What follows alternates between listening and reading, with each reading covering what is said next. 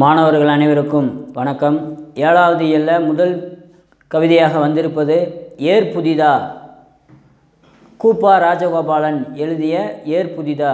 அந்த கவிதை தான் வந்து நமக்கு பாடமாக இருக்குது ஏர் புதிதா அப்படின்றது கூப்பாராவினுடைய படைப்புகள் என்ற நூல்லேருந்து எடுத்திருக்காங்க. இவர் வந்து கும்பகோணத்தில் கூப்பாரா அப்படின்னு சுருக்கமாக சொல்லுவாங்க. ஆயிரத்தி தொள்ளாயிரத்தி ரெண்டில் கும்பகோணத்தில் பிறந்தவர். மிகச்சிறந்த சிறுகதை ஆசிரியர். கவிஞர் நாடக ஆசிரியர் மறுமலர்ச்சி எழுத்தாளர். இப்படி பன்முக திறமை கொண்டவர் தான் வந்து இந்த கூப்பாரா. இவர் வந்து தமிழ்நாடு பாரதமணி பாரத தேவி கிராம ஊழியன். இப்படி பல்வேறு நூல்களில் வந்து அந்த இதழ்களில் ஆசிரியராக வேலை பார்த்தவர். இவருடைய மறைவுக்கு பின்னாடி இவருடைய படைப்புகளெல்லாம் தொகுப்பாக தொகுக்கிறாங்க. இரண்டு தொகுப்புகளாக தொகுக்கிறாங்க. ஒன்று அகலிகை இன்னொன்று ஆத்ம சிந்தனை அப்படின்னு இரண்டு தொகுப்பாக அதை வெளியிடுறாங்க. அவர் எழுதிய அந்த ஏர் புதிதாக தான் வந்து நமக்கு பாடமாக இருக்குது சங்க தமிழரனுடைய திணை வாழ்வையும் வேளாண்மையும் அடிப்படையாக கொண்டது தான் வந்து நம்முடைய தமிழ்நாடு. உழுவார் உலகத்தாருக்கு ஆணி அப்படின்னு போற்றப்படுது. உழவு தான் வந்து தலையாய தொழில் அப்படின்னு சொல்லி வள்ளுவரும் சொல்கிறாரு உழவு தொழில் உழவை வந்து தொழிலாக இல்லாமல் ஒரு பண்பாடாகவே நாம் நம் முன்னோர்கள் வந்து அதை நடத்திட்டு வந்திருக்காங்க. இன்றைக்கி அந்த உழவு தொழில் வந்து கொஞ்சம் கொஞ்சமாக அது குறைந்து போய் கொண்டே இருக்கிறது விவசாயிகள்லாம் வந்து மிகப்பெரிய வறுமையில் போய்கிட்டு இருக்காங்க. அதை மீட்டெடுப்பது இன்றைய கடமை நம்முடையது. அதனால தான் இந்த ஏர் புதிதா அப்படின்றத நமக்கு கொடுத்துருக்காங்க. இதில் வந்து பொன்னேர் பூட்டுதல் அப்படின்னு ஒரு இருக்குது அதாவது பொன்னேருன்னா என்ன? அந்த வருஷத்தினுடைய தொடக்கத்தில் முதன் முதலாக அந்த ஏரை பூட்டி உழுவது தான் வந்து பொன்னேர் பூட்டுதல்னு பேர்.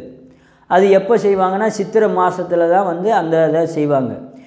இதுபோல் அந்த விவசாயத்தை மீட்டெடுப்பதற்கு நாம் தான் வந்து முன்னூற்றி ஏராக இருந்து அந்த பொன்னேரை பூட்டணும் அப்படின்றதான் வந்து அந்த கூப்பா ராஜகோபாலனுடைய ஆசையாக அந்த கவிதையை வடித்திருக்கிறார். அந்த கவிதையை பார்ப்போம்.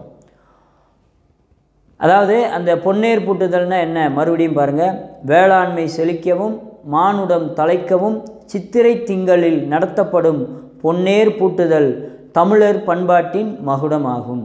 இதுதான் பொன்னேர் பூட்டுதல். முதல் மழை விழுந்ததும் மேல்மண் பதமாகிவிட்டது. அந்த சித்திரை மாதத்தில் வந்து மழை பொழியுது.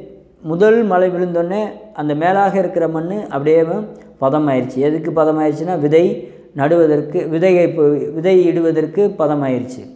வெள்ளி முளைத்திடுது விரைந்து போ நண்பா. வெள்ளி முளைச்சிருச்சு கிழக்கு பக்கம். அதாவது அதிகாலையில் பார்த்தோம்னு சொன்னால் அந்த வெள்ளி முளைச்சிருக்கும். அதனால் வேகமாக போ நண்பா அப்படின்னு சொல்கிறாரு காளைகளை ஓட்டி கடுகிச்சல் காளைகளை ஓட்டிக்கிட்டு வேகமாக போ. இன்றைக்கி காளைகள்லாம் காளைகளை வைத்து உழுகுறாங்களான்னா கிடையாது. டிராக்டரு இது போன்ற கனரக அந்த வாகனங்களை வைத்து தான் உழுகுறாங்க. அந்த காலத்தில் நடந்ததை பற்றி அவர் இந்த கவிதை எழுதியிருக்கார். காளைகளை ஓட்டி கடுகிச்சல் முன்பு வேகமாக போ. முன்பு பொன்னேர் தொழுது. முதன் முதலாக அந்த உழக்கூடிய அந்த ஏறு தொழுது.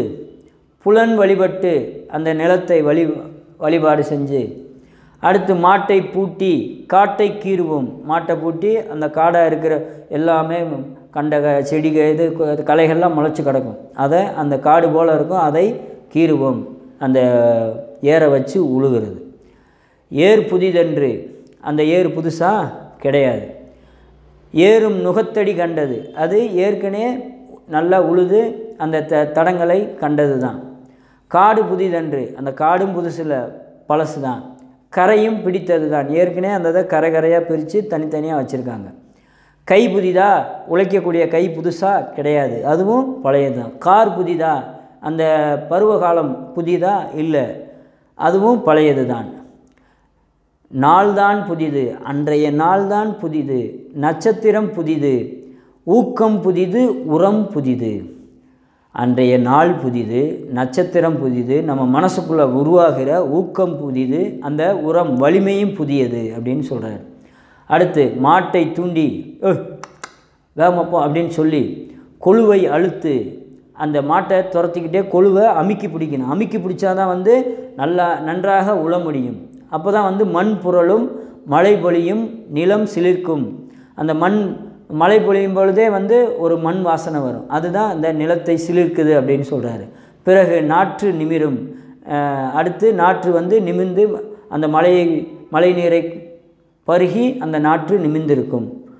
எல்லை தெய்வம் எல்லாம் காக்கும். அந்த வயல்வெளிகள் ஓரத்தில் அந்த காட்டு ஓரத்தில் வந்து எல்லை ஒரு தெய்வம் வச்சுருப்பாங்க. ஒன்று ஏழு கன்னிமார் வச்சுருப்பாங்க இல்லை கருப்பு சாமி வச்சுருப்பாங்க இல்லை முனிசாமி வச்சுருப்பாங்க. இதுபோல் அந்த எல்லை தெய்வம் நம்ம எல்லாம் காக்கும். கவலை இல்லை கிழக்கு வெளுக்குது. கவலைப்படாதீங்க. கிழக்க வந்து சூரியன் உதிக்க ஆரம்பிச்சிருச்சு வெளுக்க ஆரம்பிச்சிருச்சு. பொழுதேற பொன் பரவும் ஏரடியில். அப்படியே பொழுது கொஞ்சம் கொஞ்சமாக மேலே ஏறப்போகுது. ஏரடியில் நல்ல வேளையில் நாட்டுவோம் கொழுவை. நல்ல நேரத்தில் நம்ம அந்த காட்டை உழுவோம் அப்படின்னு சொல்லி இந்த கூப்பாரா வந்து ஏர் புதிதா அப்படின்றதில் அந்த கவிதையை சொல்லியிருக்காரு. இதில் முக்கியமாக என்னதுன்னா பொன்னேர் பூட்டுதல். அதுதான் வந்து முக்கியம். இந்த கை புதுசா அந்த க காடு புதியதா இல்லை அந்த பருவம் புதியதா அப்படின்னா அதெல்லாம் புதியது இல்லை.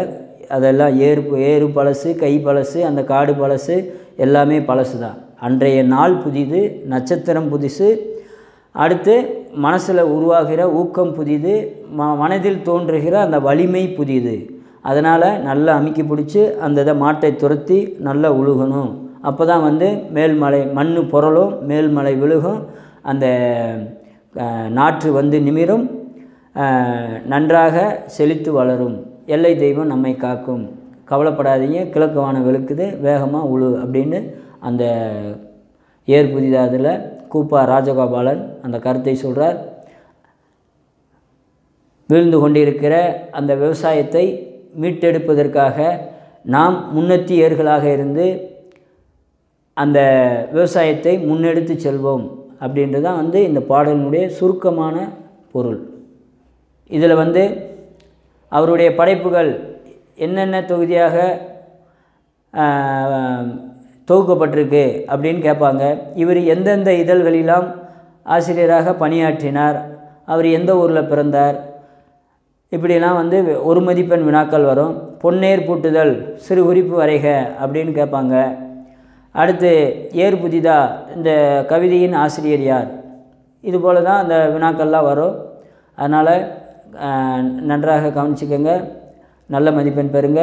நம்ம சேனலுக்கு புதிதாக வந்திருக்கிறவங்க சேனலை சப்ஸ்கிரைப் பண்ணுங்கள் உங்கள் நண்பர்களுக்கும் பகிருங்க. பிடிச்சிருக்கும் நம்புகிறேன் அதனால் லைக் பண்ணுங்கள் நன்றி.